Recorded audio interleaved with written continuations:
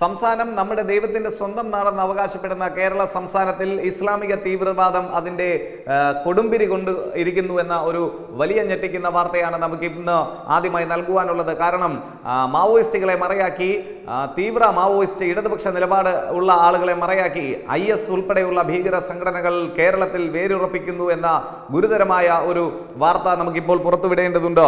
സിറിയയിൽ തങ്ങളുടെ സാമ്രാജ്യം തകർക്കപ്പെട്ടതോടെ പുതിയ മേച്ചിൽപ്പുറങ്ങൾ തേടുന്ന ഐ എസ് അതിനേറ്റവും പറ്റിയ ഒരു വളക്കൂറുള്ള മണ്ണായി കാണുന്നത് ദക്ഷിണേന്ത്യയാണ്. പ്രത്യേകിച്ച് കേരളത്തെയാണ് പ്രത്യേകിച്ച് വടക്കൻ കേരളത്തിലാണ്. മലബാർ ഭാഗം കേന്ദ്രീകരിച്ചുകൊണ്ട് മാവോയിസ്റ്റുകളെയും തീവ്ര ഇസ്ലാമിക നിലപാടുള്ള ആക്ടിവിസ്റ്റുകളെയും ഒക്കെ മറയാക്കിക്കൊണ്ട് ഐ എസ് ഈ കേരളത്തിൽ അവരുടെ വേരുറപ്പിക്കാനുള്ള ശ്രമം നടത്തുന്നു എന്ന ഒരു വലിയ ഗുരുതരമായ ഒരു വിഷയം തന്നെ എൻ ഐ എ അത് സംസ്ഥാന സർക്കാരിനെ നിരവധി തവണ അറിയിച്ചിട്ടുണ്ട്. അത് അതിന്റെ പാരമ്യത്തിൽ ഇസ്ലാമിക ഭീകരവാദം അതിന്റെ പാരമ്യത്തിൽ എത്തിയിരിക്കുന്നു. മാവോയിസ്റ്റുകളെ ഉൾപ്പെടെ അവരെ മറയാക്കിക്കൊണ്ടാണ് ഇത്തരത്തിലുള്ള കാര്യങ്ങൾക്ക് ഐ എസ് സ്കോപ്പ് കൂട്ടുന്നത് എന്നാണ് ദേശീയ അന്വേഷണ ഏജൻസികൾ ഒക്കെ തന്നെ സംസ്ഥാനത്തിന് മുന്നറിയിപ്പ് നൽകിയിരിക്കുന്നത്.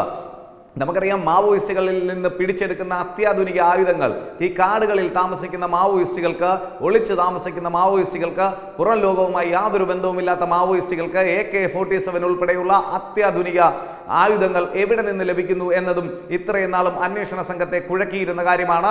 നമുക്കറിയാം അത്യാധുനിക വെപ്പൺസാണ് മാവോയിസ്റ്റുകളിൽ നിന്ന് ഓരോ തവണയും പോലീസ് പിടിച്ചെടുക്കുന്നത്. അവ നമുക്കറിയാം ഈ ഒരു തരത്തിലുള്ള അത്യാധുനിക ആയുധങ്ങൾ ഒക്കെ അവർക്ക് സപ്ലൈ ചെയ്യുന്നത് ഐ എസ് പോലെയുള്ള തീവ്ര ഇസ്ലാമിക തീവ്രവാദ സംഘടനയാണ് എന്ന കാര്യത്തിൽ യാതൊരു സംശയമില്ല ഈ ഒരു സൂചനയുടെ അടിസ്ഥാനത്തിൽ എൻ ഐ എ മലബാർ കേന്ദ്രീകരിച്ച് തങ്ങളുടെ അന്വേഷണം ആരംഭിച്ചിരിക്കുന്നു എന്ന വിവരമാണ് നമുക്ക് ലഭിക്കുന്നത്. ശ്രീലങ്കയിലെ സ്ഫോടനങ്ങളുമായി ബന്ധപ്പെട്ട് നടന്ന അന്വേഷണങ്ങളിലാണ് ഐ എസ് ദക്ഷിണേന്ത്യയിൽ ചൂടുറപ്പിക്കാൻ ശ്രമിക്കുന്നതായ വിവരം എൻ ഐ എക്ക് ലഭിച്ചത്. ഇതിന്റെ ഭാഗമായി തമിഴ് കന്നഡ മലയാളം ഭാഷകളിൽ ലഘുലേഖ വിതരണം ചെയ്യുകയും സമൂഹ മാധ്യമങ്ങളിൽ പ്രചരണം നടത്തുകയും ചെയ്തിരുന്നു ഈ തീവ്ര ഇസ്ലാമിക ആക്ടിവിസ്റ്റുകൾ.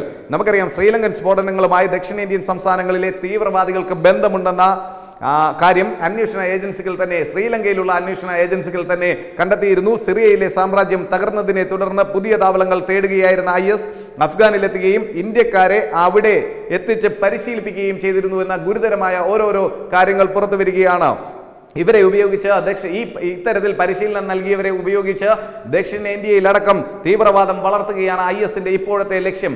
ഐ എസിന്റെ ഒരു പ്രഖ്യാപിത ലക്ഷ്യമായി ഈ ദക്ഷിണേന്ത്യ കേന്ദ്രീകരിച്ചുകൊണ്ട് പ്രത്യേകിച്ച് കേരളം കേന്ദ്രീകരിച്ചുകൊണ്ട് പ്രത്യേകിച്ച് വടക്കൻ കേരളം മലബാർ ഭാഗം കേന്ദ്രീകരിച്ചുകൊണ്ട് തങ്ങളുടെ തീവ്രവാദ ശൃംഖല വളർത്തുവാൻ തീവ്ര ഇസ്ലാമിക ആക്ടിവിസ്റ്റുകളെ അതേപോലെ തന്നെ മാവോവാദികളെ ഒക്കെ തന്നെ ഉൾപ്പെടുത്തിക്കൊണ്ടാണ് ഐ എസ് തങ്ങളുടെ സ്വാധീനം കേരളത്തിൽ ഉറപ്പിക്കാൻ ശ്രമിക്കുന്നത്. ഇന്ത്യയിൽ നിന്ന് ഐ എസിൽ ചേക്കേറിയവരിൽ ഭൂരിഭാഗവും മലയാളികളായിരുന്നു എന്ന ഇന്നലെയും നമ്മൾ വാർത്ത ചെയ്തിരുന്നു. ഐ എസിൽ ചേർന്നവരിൽ ഭൂരിഭാഗം പേരും മലയാളികൾ. അതുകൊണ്ട് തന്നെ നമുക്ക് മനസ്സിലാക്കാം കേരളം ഇസ്ലാമിക തീവ്രവാദികളുടെ ഹബ്ബായി മാറിക്കൊണ്ടിരിക്കുന്നു എന്ന ആരോപണങ്ങൾ കുറേ നാളുകളായി നമ്മൾ ഉൾപ്പെടെയുള്ള മാധ്യമങ്ങൾ അതായത് ദേശീയതയ്ക്ക് വേണ്ടി നിലകൊള്ളുന്ന മാധ്യമധർമ്മം യാഥാർത്ഥ്യ ബോധത്തോടുകൂടി നിർവഹിക്കുന്ന തത്വമയി ടി വി ഉൾപ്പെടെയുള്ള മാധ്യമങ്ങളാണ് ഈ വാർത്ത പുറത്തു വരുന്നത്. ഇവിടുത്തെ മുഖ്യധാര മാധ്യമങ്ങൾക്കൊക്കെ ഇത് ഒരു ആഘോഷമായി മാറുമ്പോൾ ഇത് ദേശ സുരക്ഷയെ സംബന്ധിക്കുന്ന ഗുരുതരമായ കാര്യമാണ് എന്ന് നമ്മൾ നമ്മൾ ഉൾപ്പെടുന്ന ദേശീയ മുഖ്യധാരയോട് അനുഭാവമുള്ള മാധ്യമങ്ങൾ മാത്രമാണ് പറയുന്നത്.